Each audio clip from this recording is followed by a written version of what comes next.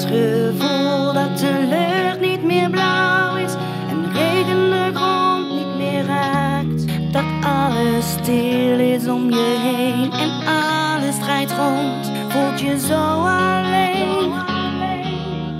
Is dat spijt?